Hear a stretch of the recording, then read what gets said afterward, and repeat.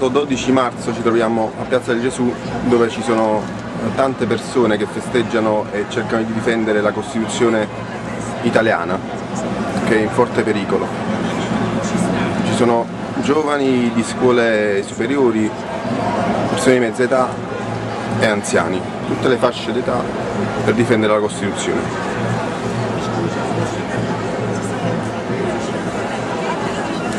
Allora ci, siamo, ci, troviamo a Piazza del Gesù per la Costituzione Day e qui abbiamo trovato delle persone che vogliono esprimere la loro, la loro uh, testimonianza e il loro pensiero su questa, questo giorno particolare.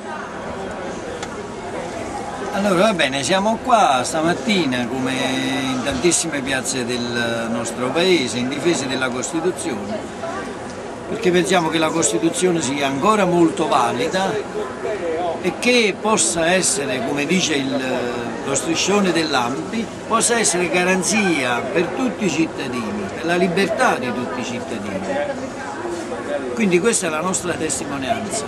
Il, diciamo, la problematica è relativa al fatto che ultimamente si vuole modificare la Costituzione, però eh, c'è la possibilità di, di modificarla eh, la, la, possibilità di modificarla non è contemplata diciamo. No, non è, non è che, eh, diciamo, che la Costituzione deve essere intoccabile. Ah, sicuramente la Costituzione può avere dei, dei, piccoli punti, delle questioni che possono essere aggiornate. Noi non siamo per il mantenimento così di un tabù, noi siamo per il mantenimento di una filosofia, di un sentimento, di una eh, di quello che è uscito dalla guerra di liberazione, dal fascismo, coloro che sono riusciti a portare il paese fuori dal fascismo e conquistare la libertà avevano sentimenti, passioni, questioni politiche che sono rappresentate nella Costituzione. È questo quello che noi non vogliamo venga messo in discussione.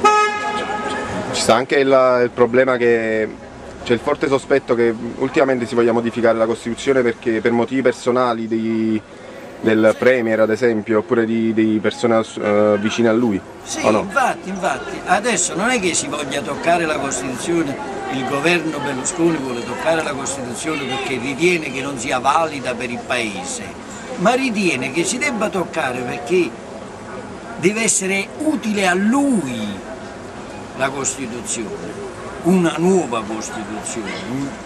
Questo è il problema che non è che lui pensa di cambiarla perché è necessario per il Paese, ma è necessario per lui personalmente cambiare la Costituzione. Per questo noi non siamo d'accordo, non nel non cambiarla perché è un tabù, non è un tabù, non lo sarà, noi vogliamo che i sentimenti rappresentati nella Costituzione sopravvivano e continuino a vivere perché sono la garanzia per tutti i cittadini Grazie. quelli ricchi, quelli poveri, quelli eccetera, pensionati, operai, tutti.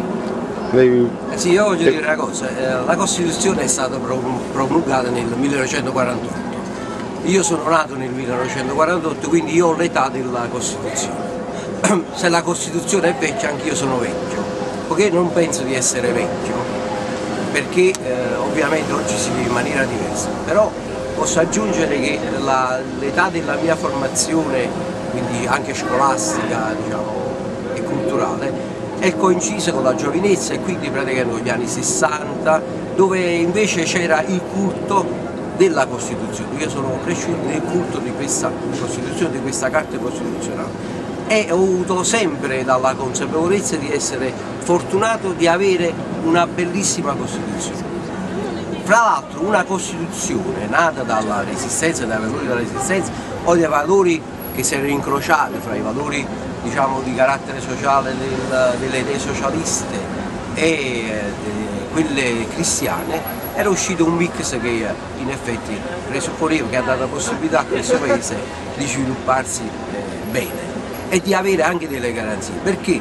Nella stessa formulazione della Costituzione ci sono del, dire, dei punti fermi che consentono da un lato di cambiare, ma dall'altro lato di avere delle maggioranze qualificate, non può essere male. E anche il tentativo che farà questo governo, che è solo propagandistico, di fare una riforma che non apporterà mai a, a compimento perché non avrà la maggioranza parlamentare, tra l'altro non avrà poi no, e poi non avrà l'ulteriore conferma da parte del referendum che in questo caso non richiederà un quorum, come dire, è veramente un ulteriore spot pubblicitario.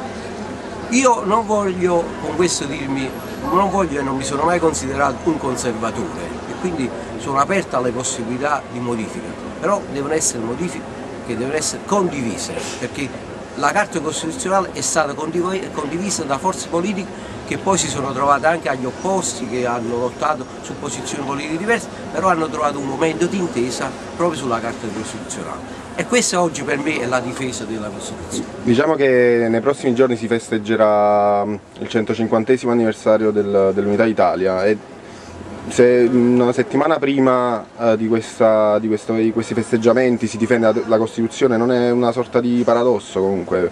No, assolutamente no, perché noi siamo convinti che nella, in questa deriva, diciamo, chiamiamola così, eh, quasi reazionaria, vengono messi in discussione anche i valori del risorgimento. Il problema invece è tutt'altro, che i valori del risorgimento devono essere recuperati in una società che si va via via sfilacciando vedi le posizioni della Lega da un lato ma anche dire, delle stesse forze presenti nel, nel governo Berlusconi perché Berlusconi è, insomma, su questo vuole cavalcare tutto, tutto, le, come, tutti i cavalli, tutte, tutte le possibilità. Insomma, oggi una volta si mette il cappello da partigiano e l'altro giorno si mette la coccarda verde della Lega, quindi c'è questa confusione di voi. È lo stesso, il fatto stesso che la Lega non abbia votato per, per tenere in vita il festeggiamento del 17 marzo la dice lunga sulla, sulla, sul fatto che i valori del risorgimento siano dire, eh, recepiti e diffusi in tutto il territorio nazionale. Invece vanno recuperati unitamente ai valori della resistenza e noi questo andiamo a sostenere. Benissimo.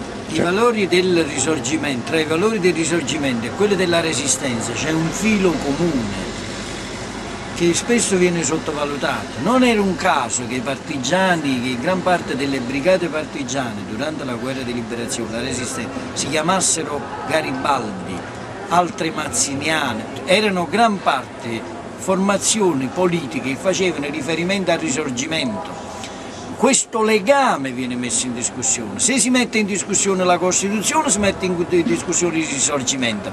Non è un caso che se si mette in discussione il risorgimento si mette in discussione la, la resistenza, sia per tutte le vicende che diceva Carlo prima, che rappresenta. Perciò c'è un legame forte che è stato rappresentato dai resistenziali e dagli antifascisti, il recupero dei valori democratici del risorgimento stanno tutti nella Costituzione, perciò dobbiamo difenderla. Okay.